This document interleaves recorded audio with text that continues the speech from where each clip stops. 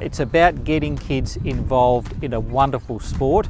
Uh, and we're not just talking about kids that might have a disability, it's any kid who wants to get involved in, in soccer, in football, and to put on that, that, uh, that jersey and to get out there and play.